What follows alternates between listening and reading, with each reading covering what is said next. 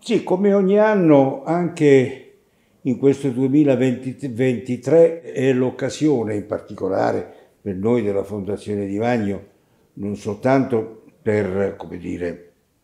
per un doveroso omaggio alla memoria storica, ma soprattutto per rinnovare un impegno, direi, militante, un impegno, un impegno operativo, un impegno militante intorno alla quotidianità alla quotidianità del nostro, del nostro uh, antifascismo, perché questa è, è la concezione che noi, che noi, abbiamo da sempre, da sempre assicurata a questo, a questo, appuntamento, al di fuori della retorica celebrativa, a, a volte anche, anche abbastanza sterile. Insomma, il messaggio che noi abbiamo fatto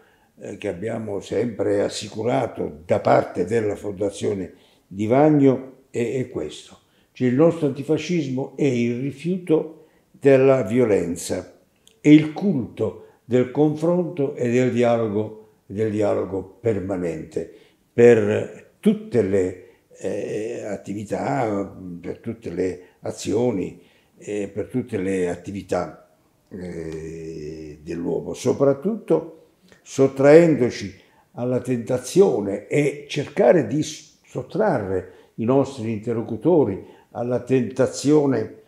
che è abbastanza diffusa, diciamo, di una sorta di nuovo, di nuovo fascismo e che si manifesta in particolare con quella che viene definita l'odiocrazia della, eh, della, della rete che sta sempre più contagiando in particolare le nostre eh, diciamo, le nostre eh, generazioni più, più giovani, più, meno, meno, meno avanti, avanti degli anni. E poi un aspetto particolare è quello di eh, eh mettere a disposizione, ma non soltanto nella giornata del 25 aprile,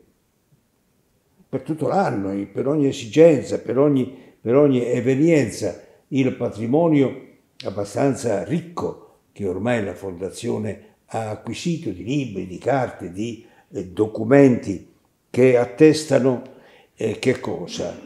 Eh, il vissuto di molti, di molti uomini, in moltissimi casi, nella prevalenza dei casi, è il sofferto di molti uomini che sono stati legati alla politica, che hanno lottato che hanno lottato il fascismo, che sono stati in galera, che sono stati uomini, uomini di cultura, che hanno operato nelle scuole o, o anche nelle sedi, nelle sedi, istituzionali e che hanno sempre condiviso questo, questo principio, questo principio eh,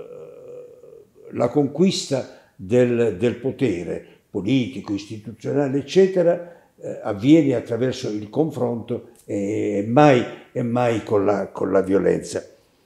Del resto questa è la cifra diciamo, eh, che caratterizza eh, la, la, Fondazione di Vagno, insomma, no? quel che abbiamo sempre, sempre cercato, cercato, di fare parlando con le giovani generazioni e, e, e parlando con, i, con, gli studenti, ma anche, ma anche con giovani che eh, lavorano sapendo che eh, quella è la nuova classe dirigente, sono loro che domani reggeranno le sorti, le sorti di questo nostro paese. Naturalmente siamo molto preoccupati in questo momento particolare eh, nel quale i tentativi di revisionismo storico sono, sono abbastanza diffusi e eh, anche di disconoscimento di valori essenziali,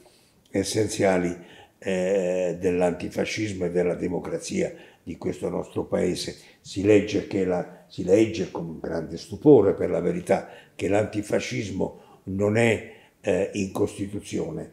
Eh, non c'è bisogno che eh, la Costituzione avesse usato la parola antifascismo. L'antifascismo l'ha sanzionato con una norma finale, che non è una norma transitoria, ma è una norma finale nella quale eh, ha sancito l'assoluta, l'assoluta irripetibilità di quelle esperienze che hanno insanguinato questo, questo, questo, nostro, questo nostro, paese. E, e, del resto, e questo noi ci abbiamo cercato di interpretare eh, il messaggio che, che, lascia Giuseppe Di Vagno, eh, perché l'antifascismo eh, direi è una condizione permanente e nell'antifascismo si eh, sostanzia che cosa? Eh, si sostanziano gli ideali, gli ideali, della politica, quelli della, della solidarietà, del, de, dell'uguaglianza, del rispetto dei diritti civili e sociali, di tutto, ma soprattutto si eh, sostanzia eh, il principio, l'esigenza, il diritto della, del, della libertà,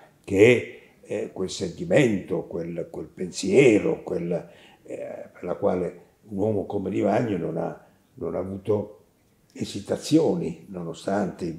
avvertito, preavvertito, eccetera, non ha avuto esitazioni di eh, sacrificare eh, anche la sua eh, esistenza, esistenza giovane. Ma in questa circostanza io vorrei concludere questo richiamo pensando alle parole che ha pronunciato qualche giorno fa da, dalla, dalla, Polonia e dai luoghi simbolo dell'antifascismo e della, e della resistenza il nostro Presidente della Repubblica che ha tuonato e senza appello che il fascismo è un crimine orrendo che non può comportare né oblio e né perdono e tanto male nessun arretramento. Ecco, nessun arretramento. E questo è il senso essenziale che noi intendiamo assegnare